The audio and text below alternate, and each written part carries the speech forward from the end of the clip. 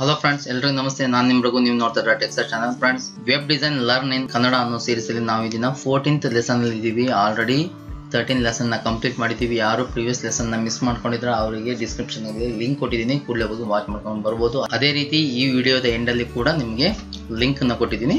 So ಆ slide ಬರುತ್ತೆ. ಆವಾಗ ಕೂಡ ಅದನ್ನ ಕ್ಲಿಕ್ ಮಾಡಿ ಕೂಡ ನೀವು ವಾಚ್ ಮಾಡ್ಬೋದು. ಬನ್ನಿ ಫ್ರೆಂಡ್ಸ್ ಇವತ್ತಿನ ಲೆಸನ್ ನಾವು ಸ್ಟಾರ್ಟ್ ಮಾಡೋಣ.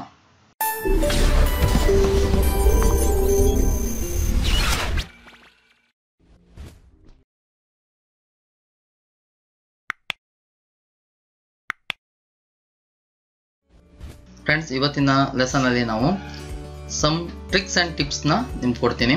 ಸೊ ಅದನ್ನು ಯಾವ ರೀತಿ ಯೂಸ್ ಮಾಡಬೇಕು ಅನ್ನೋದನ್ನು ನೀವು ಈ ಲೆಸನಲ್ಲಿ ತಿಳ್ಕೊಬೋದು. ಓಕೆ ಕೇರ್ಫುಲ್ಲಾಗಿ ಅಬ್ಸರ್ವ್ ಮಾಡಿ. ಸಬ್ ಲೈಮ್ನ ಓಪನ್ ಮಾಡ್ಕೊಂಡಿದ್ದೀನಿ.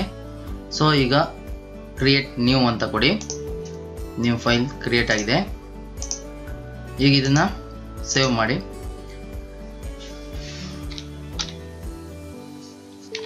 ಟಿಪ್ಸ್ ಅಂತ ಕೊಡ್ತೀನಿ ಓಕೆನಾ dot html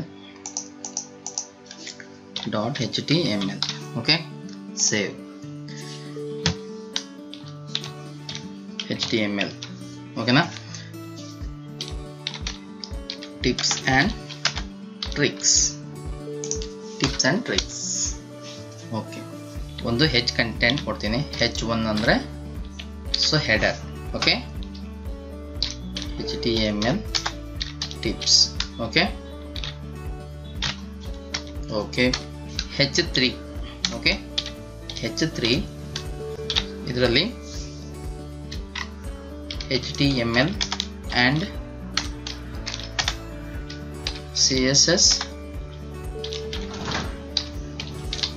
C S S tutorial okay ಈಗ ಫ್ರೆಂಡ್ಸ್ ಈ H T M L and C S ಎಸ್ಗೆ ಮಾತ್ರ ನಮಗೆ ಒಂದು ಅಂಡರ್ಲೈನ್ ಬೇಕಾಗುತ್ತೆ ಅಂತ ಇಟ್ಕೊಳ್ಳಿ ಓಕೆ ಹೆಚ್ ತ್ರೀ ಟ್ಯಾಗ್ ಒಳಗಡೆ H T M L and C S S ಅನ್ನೋ ಒಂದು ಜಾಗಕ್ಕೆ ಮಾತ್ರ ನಮಗೆ ಅಂಡರ್ಲೈನ್ ಬೇಕಾಗುತ್ತೆ ಅಂದಾಗ ನಾವು ಒಂದು ಟ್ಯಾಗ್ನ ಯೂಸ್ ಮಾಡಬೇಕು. ಆ ಟ್ಯಾಗ್ ಬಂದ್ಬಿಟ್ಟು ಯು ಟ್ಯಾಗ್ ಓಕೆ ಯು ಅಂತ ಕೊಡಿ. ಸೊ ಇಲ್ಲಿ, ಎಲ್ಲಿವರೆಗೂ ನಿಮಗೆ ಆ ಅಂಡರ್ಲೈನ್ ಬೇಕಾಗುತ್ತೋ ಅದರ ಎಂಡಲ್ಲಿ ಯು ಟ್ಯಾಗ್ನ ಎಂಡ್ ಮಾಡಿ. ಇದನ್ನು ಸೇವ್ ಮಾಡೋಣ. ಓಕೆ ಈಗ ನಾನು ಅದನ್ನು ರನ್ ಮಾಡಿ ನೋಡ್ತೀನಿ ನೋಡಿ. ಸೊ ಇಲ್ಲಿ ಇದೆಯಲ್ಲ? ಇದಲ್ವಾ? ಓಕೆ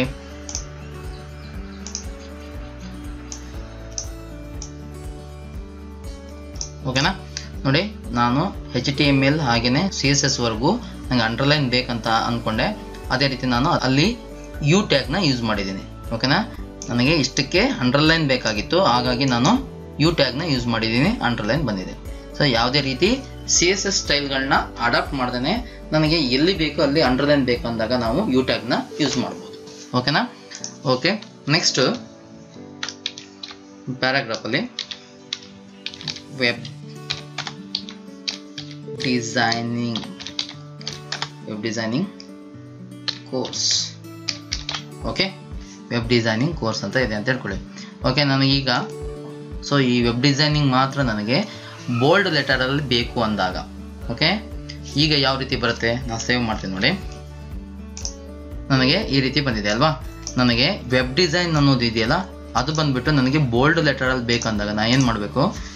ಇಲ್ಲಿ ಬಿ ಟ್ಯಾಗ್ನ ಯೂಸ್ ಮಾಡಬೇಕು. ಓಕೆ ಬಿ ಟ್ಯಾಗ್ ಅದೇ ರೀತಿ ನನಗೆ ಆ ಬೋಲ್ಡ್ ಲೆಟರ್ಸ್ ಎಲ್ಲಿವರೆಗೂ ಬೇಕೋ ಅದ್ರ ಎಂಡಲ್ಲಿ ಬಿ ಟ್ಯಾಗ್ನ ಎನ್ ಟ್ಯಾಗ್ ಹಾಕಬೇಕು. ಓಕೆನಾ ನಮಗೆ ಎಲ್ಲಿವರೆಗೂ ಬೋಲ್ಡ್ ಲೆಟರ್ ಬೇಕೋ ಅದ್ರ ಎಂಡಲ್ಲಿ ಎಂಡ್ ಟ್ಯಾಗ್ನ ಹಾಕಬೇಕು. ಓಕೆನಾ ಸೇವ್ ಮಾಡ್ತೀನಿ ನೋಡಿ. ರಿಫ್ರೆಶ್ ನೋಡಿ ಇಲ್ಲಿ ವೆಬ್ ಡಿಸೈನಿಂಗ್ ಅನ್ನೋದು ಮಾತ್ರ ಬೋಲ್ಡ್ ಲೆಟ್ರಲ್ಲಿ ಬಂದಿದೆ.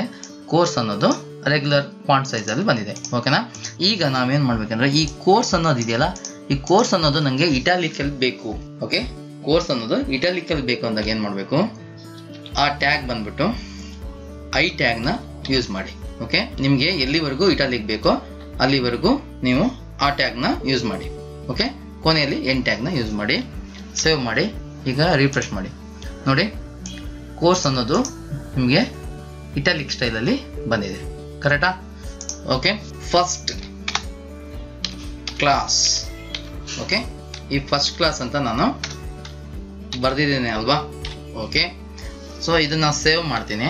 ಈ ರೀತಿ ಬಂದಿದೆ ನನಗೆ ಕರೆಕ್ಟಾ ಸೊ ನಮಗೆ ಈ ರೀತಿ ಬರಬಾರ್ದು ಎಸ್ ಟಿ ಅನ್ನೋದು ಮಾತ್ರ ಮೇಲ್ಗಡೆ ಬರಬೇಕು. ಓಕೆನಾ ಏನು ಹೇಳಿ? ಪವರ್ ಆಫ್ ಅಂತ ಬರುತ್ತಲ್ಲ? ಸೊ ಅದೇ ರೀತಿ ಇಲ್ಲಿ ಫಸ್ಟ್ ಅನ್ನೋದು ಈ ರೀತಿ ಬಂದಿದೆ ಅಲ್ವಾ? ಸೊ ನಮಗೆ ಈ ರೀತಿ ಬೇಡ. ಯಾವ ರೀತಿ ಬೇಕು ಅನ್ನೋದನ್ನ ನಾವು ಇಲ್ಲಿ ತೋರಿಸ್ತೀನಿ ನೋಡಿ. ಫಸ್ಟ್ ಅನ್ನೋದಿದೆಯಲ್ಲ ಆ ಒಂದು ಅನ್ನೋದ್ರ ಪಕ್ಕ ನೀವು S U P okay S U P ಅಂತ ಒಂದು ಟ್ಯಾಗ್ನ ಯೂಸ್ ಮಾಡಿ ಓಕೆ ಅದೇ ರೀತಿ ಎಸ್ ಟಿ ಆದಮೇಲೆ ಆ ನ ಎಂಡ್ ಮಾಡಿ ಓಕೆ ನೋಡಿ, ಈಗ ಇದನ್ನ ಸೇವ್ ಮಾಡ್ತೀನಿ ರನ್ ಮಾಡ್ತೀನಿ ನೋಡಿ. ನೋಡಿ ಈಗ ಈ ರೀತಿ ಬಂದಿದೆ ಅಲ್ವಾ? ಸೊ ಬಿಫೋರಲ್ಲಿ ಆ ಟ್ಯಾಗ್ನ ಕೊಡ್ತಾ ಇದ್ರೆ ಎಸ್ ಯು ಪಿ ಅನ್ನೋ ಟ್ಯಾಗ್ನ ಸೂಪರ್ ಟ್ಯಾಗ್ನ ಕೊಡದೇ ಇದ್ದಾಗ ಯಾವ ರೀತಿ ಬರುತ್ತೆ? ಶೋ ಮಾಡ್ತೀನಿ. ಓಕೆ? ಈಗ ಸೇವ್ ಮಾಡ್ತೀನಿ ನೋಡಿ. ಅದನ್ನು ಕೊಡದೇ ಇದ್ದಾಗ ಯಾವ ರೀತಿ ಬರುತ್ತೆ? ಕೊಟ್ಟಾಗ ಯಾವ ರೀತಿ ಬರುತ್ತೆ ಅಂತ ನೋಡಿ. ಓಕೆನಾ? Okay?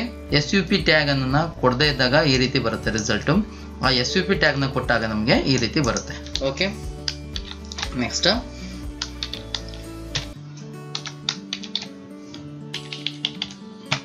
ಈ ವೆಬ್ ಡಿಸೈನಿಂಗ್ ಕೋರ್ಸ್ ಅನ್ನೋದನ್ನೇ ತಗೋಣ copy and paste copy paste okay ಈ ವೆಬ್ ಡಿಸೈನಿಂಗ್ ಕೋರ್ಸ್ ಅನ್ನೋದ್ರಲ್ಲಿ ಈ ಡಿಸೈನಿಂಗ್ ಅನ್ನೋದು ಮಾತ್ರ ನಮಗೆ ಸ್ಮಾಲ್ ಆಗಿ ಬರಬೇಕು ಓಕೆ ಇನ್ನು ಉಳಿದಿರೋದೆಲ್ಲ ಬಿಗ್ ಲೆಟ್ರಲ್ಲೇ ಬರಬೇಕು ಓಕೆನಾ ಸೊ ಆ ಪಾಂಟ್ ಸೈಜ್ ರೆಡ್ಯೂಸ್ ಆಗಬೇಕು ಓಕೆನಾ ಸ್ಮಾಲ್ ಸೊ ಸ್ಮಾಲ್ ಅನ್ನೋ ಟ್ಯಾಗ್ನ ಯೂಸ್ ಮಾಡಿ ಸ್ಮಾಲ್ ಟ್ಯಾಗ್ನ ಯೂಸ್ ಮಾಡಿದ್ವಲ್ಲ ಸೇವ್ ಮಾಡಿ. ಸೇವ್ ಮಾಡ್ತೀನಿ ನೋಡಿ. ರಿಫ್ರೆಶ್ ನೋಡಿ, ಈ ಡಿಸೈನಿಂಗ್ ಪಾಂಟ್ ಬಂದ್ಬಿಟ್ಟು ಉಳಿದಿರೋ ಪಾಂಟ್ಗಿಂತ ಸ್ಮಾಲ್ ಆಗಿದೆ. ಕರೆಕ್ಟ್ ಅಲ್ಲ? ಓಕೆ ಸ್ಮಾಲ್ ಟ್ಯಾಗ್ ಏನಕ್ಕೆ ಯೂಸ್ ಆಗುತ್ತೆ ಅಂತ ಗೊತ್ತಾಯ್ತಲ್ಲ? Next P tag okay price is twenty five so slash fifty okay fifty rupees fifty rupees twenty five rupees okay twenty five fifty rupees okay ಈಗ ನಾವು ಈ ಫಿಫ್ಟಿನ ಕಾರ್ಟ್ ಹೊಡೆದಿರೋ ಥರ ನಮಗೆ ಪ್ರೈಸ್ ಡಿಸ್ಪ್ಲೇ ಆಗುತ್ತೆ. ಕರೆಕ್ಟ್ ನಮಗೆ offer price is twenty five so before price ಎಷ್ಟಿತ್ತು ಅಂತ ಅರ್ಥ ಫಿಫ್ಟಿ ಇತ್ತು ಅಂತ ಅರ್ಥ. ಆವಾಗ ನಾವೇನು ಮಾಡ್ತೀವಿ? ಆ ಫಿಫ್ಟಿ ಅನ್ನೋ ಪ್ರೈಸನ್ನ ಕಾರ್ಟ್ ಹೊಡಿಬೇಕಲ್ವಾ? ಅದಕ್ಕೆ ಏನು ಯೂಸ್ ಮಾಡ್ತೀವಿ? ಡಿ ಓಕೆ ಡಿ ಎಲ್ ಟ್ಯಾಗ್ನ ಹಾಕ್ತೀವಿ. ನೋಡಿ, ಯಾವ ರೀತಿ ವರ್ಕ್ ಆಗುತ್ತೆ ಅಂತ. Okay D L tag save ಮಾಡ್ತೀನಿ ನೋಡಿ. ರಿಫ್ರೆಶ್ ನೋಡಿ. Offer price is twenty five before ಇರೋ ಒಂದು ಫಿಫ್ಟಿ ಅಂತ ಇತ್ತು ಅಂದರೆ, ಆ ಕಾಟ್ ಹೊಡೆಯೋದಕ್ಕೆ ಬಳಸೋ ಟ್ಯಾಗ್ನ ನಾವು ಡಿ ಎಲ್ ಟ್ಯಾಗ್ ಅಂತ ಕರಿತೀವಿ. ಓಕೆನಾ ಸೊ ಡಿ ಎಲ್ ಟ್ಯಾಗ್ ಹೇಗೆ ವರ್ಕ್ ಆಗುತ್ತೆ ಅಂತ ಗೊತ್ತಾಯ್ತಲ್ಲ? ಓಕೆ ನೆಕ್ಸ್ಟ್ ಟ್ಯಾಗ್ ಬದಲಾಗಿ. ಈಗ ಒಂದು ಅಪಾಸ್ಟ್ರಫಿ ಅಂದರೆ ಸಿಂಗಲ್ ಕೊಟೇಶನ್ ಮಾರ್ಕ್ನ ಹೆಚ್ ಟಿ ಎಂ ಎಲ್ ಅಲ್ಲಿ ಯಾವ ರೀತಿ ಕೊಡೋದು ಅನ್ನೋದನ್ನ ನೋಡೋಣ. ಓಕೆ ವಿ ಆರ್ ಇಂಡಿಯನ್ಸ್ ಅಂತ ಕೊಟ್ಟಿದ್ದೀನಿ ಅಲ್ವಾ? ರನ್ ಮಾಡ್ತೀನಿ. ಸೊ ಈ ರೀತಿ ಬಂದಿದೆ.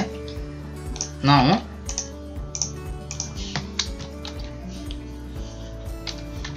ಇದನ್ನ ಸಿಂಗಲ್ ಕೊಟೇಶನ್ ಅಲ್ಲಿ ಕೊಟ್ಟಾಗ ಯಾವ ರೀತಿ ಬರಿತೀವಿ? ಈ ರೀತಿ ಬರಿತೀವಿ. ಕರೆಕ್ಟಾ ಓಕೆ ಸೊ ಡಿಸ್ಪ್ಲೇ ಆಯಿತು. ಹೌದಾ? ಆದರೆ ಹೆಚ್ ಟಿ ಎಂ ಅಲ್ಲಿ ಈ ರೀತಿ ಕೊಡಬಾರ್ದು. ಓಕೆನಾ ಸೊ ಅದು ಕಮೆಂಟ್ ಕೆಲವೊಂದು ಕಮೆಂಟ್ಗಳನ್ನ ಅದು ರಾಂಗ್ ಆಗಿ ತಗೊಳುತ್ತೆ.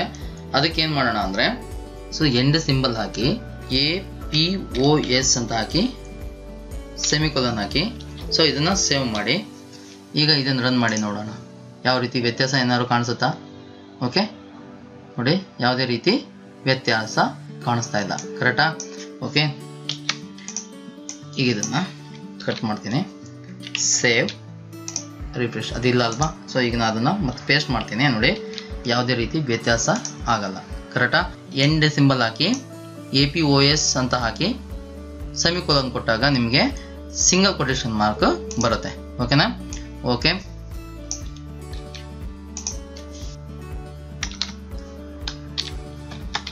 ten ten greater than five correct ten greater than five ಇದನ್ನು ಸೇವ್ ಮಾಡ್ತೀನಿ ರನ್ ಮಾಡ್ತೀನಿ ನೋಡಿ. ಈ ರೀತಿ ಬಂದಿದೆ ಅಲ್ವಾ? ಈ ಗ್ರೇಟರ್ ದೆನ್ಗೆ ನಾವು ಗ್ರೇಟರ್ ದೆನ್ ಸಿಂಬಲ್ ಕೊಡದೆ ಬೇರೆ ಹೇಗೆ ಬರೆಯೋದು ಅಂದರೆ and symbol hockey G T G T semicolon hockey save ಮಾಡಿ ಇದನ್ನ ರನ್ ಮಾಡ್ತೀನಿ ನೋಡಿ. ಈ ರೀತಿ ಬಂದಿದೆ. ಅದೇ ರೀತಿ ಈಗ ಪಿ ಹಾಕಿ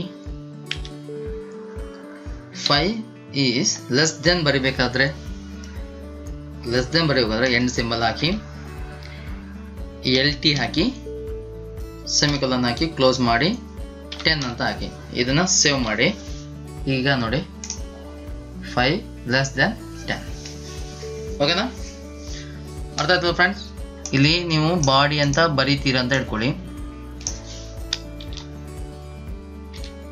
ಈ ರೀತಿ ಕೊಟ್ಟಿದ್ದೀರಲ್ವಾ ನನಗೆ ಈ ಬಾಡಿ ಅನ್ನೋದು ಏನು ಬರ್ದಿದ್ದೀನಿ ಎಕ್ಸಾಕ್ಟ್ ಆಗಿ ನನಗೆ ಪ್ರಿಂಟ್ ಬೇಕಾಗುತ್ತೆ ಅಂತ ಹೇಳ್ಕೊಳ್ಳಿ. ಕರೆಕ್ಟ್ ಈ ಎಕ್ಸಾಕ್ಟ್ ಆಗಿ ಏನು ಬರ್ದಿದ್ದೀನೋ ಇದು ನನಗೆ ಡೈರೆಕ್ಟ್ ಆಗಿ ಪ್ರಿಂಟ್ ಆಗಬೇಕು ಯಾವುದರಲ್ಲಿ? ವೆಬ್ ಪೇಜಲ್ಲಿ ಸೊ ಈಗ ನಾನು ಸೇವ್ ಮಾಡ್ತೀನಿ ನೋಡಿ. ಇದು ಯಾವುದೇ ರೀತಿ? ಇದು ಪ್ರಿಂಟ್ ಆಗಲ್ಲ ಕರೆಕ್ಟಾ ಸೊ ನನಗೆ ಈ ಏನು ಕೊಟ್ಟಿದ್ದೀನೋ ಇದು ಬಾಡಿ ಅಂತ ಎಂಟೈರ್ ಏನು ಲೆಸ್ ದೆನ್ ಹಾಗೇನೆ ಪವರ್ ಸ್ಲ್ಯಾಶ್ ಬಾಡಿ ಹಾಗೇನೆ ಲೆಸ್ ಗ್ರೇಟರ್ ದೆನ್ ಅನ್ನೋದು ಏನು ಕೊಟ್ಟಿದ್ದೀನೋ, ಇದು ಎಕ್ಸಾಕ್ಟ್ ಆಗಿ ನನಗೆ ವೆಬ್ ಪೇಜಲ್ಲಿ ಪ್ರಿಂಟ್ ಆಗಬೇಕು ಅನ್ನೋ ಆಗಿದ್ದಾಗ ನಾವೇನು ಮಾಡಬೇಕು? ಇದು ಲೆಸ್ ದೆನ್ ಅಲ್ವಾ? Okay and symbol hockey L T close finish okay ಅದೇ ರೀತಿ, ಇಲ್ಲಿ ಎಂಡ್ ಸಿಂಬಲ್ ಹಾಕಿ ಜಿ ಟಿ ಕ್ಲೋಸ್ ಈಗ ನೋಡಿ, ಬಂದಿದೆ ಅಲ್ವಾ? ಸೊ ನಾವು ಹೆಚ್ ಟಿ ಎಂ ಎಲ್ ಅಲ್ಲಿ ಆ ಹೆಚ್ ಟಿ ಎಂ ಎಲ್ ಕಂಟೆಂಟ್ನೇ ನಮಗೆ ವೆಬ್ ಪೇಜಲ್ಲಿ ಪ್ರಿಂಟ್ ಬೇಕು ಅಂದಾಗ ನಾವು ಈ ರೀತಿ ಕಮೆಂಟ್ನ ಯೂಸ್ ಮಾಡಿ ಬರಿಬೇಕು. ಇಲ್ಲದೆ ಇದ್ರೆ ಆ ಕಂಟೆಂಟ್ನ ವೆಬ್ ಪೇಜು ಪ್ರಿಂಟ್ ಕೊಡಲ್ಲ. ಓಕೆನಾ ಅರ್ಥ ಆಯ್ತಾ ಫ್ರೆಂಡ್ಸ್ ಓಕೆ ಫ್ರೆಂಡ್ಸ್ ಈ ವಿಡಿಯೋ ನಿಮ್ಗೆ ಇಷ್ಟ ಆಗಿದೆ ಅನ್ಕೋತೀನಿ. ಒಂದ್ ವೇಳೆ ಈ ವಿಡಿಯೋ ನಿಮ್ಗೆ ಇಷ್ಟ ಆಯ್ತು ಖಂಡಿತ ಲೈಕ್ ಮಾಡೋದನ್ನ ಮರಿಬೇಡಿ. ಯಾರು ಈ ಚಾನಲ್ನ ಹೊಸದಾಗಿ ನೋಡ್ತಾ ಇದ್ರ ಅವರು ಸಬ್ಸ್ಕ್ರೈಬ್ ಬಟನ್ನ ಕ್ಲಿಕ್ ಮಾಡಿ ಪಕ್ಕದಲ್ಲಿ ಕಾಣಿಸ್ತಾ ಇರೋ ಬೆಲ್ ಬಟನ್ನ ಪ್ರೆಸ್ ಮಾಡಿ friends okay friends next tutorial ವಿಡಿಯೋದೊಂದಿಗೆ ಮತ್ತೆ ಭೇಟಿ ಮಾಡ್ತೀನಿ. ಅಲ್ಲಿವರೆಗೆ ಕಾಯ್ತಾ ಇರಿ. ಸದಾ ನಿಮ್ಮೊಂದಿಗೆ ಈ ಟೆಕ್ಸೆಟ್ channel bye friends thanks for watching please subscribe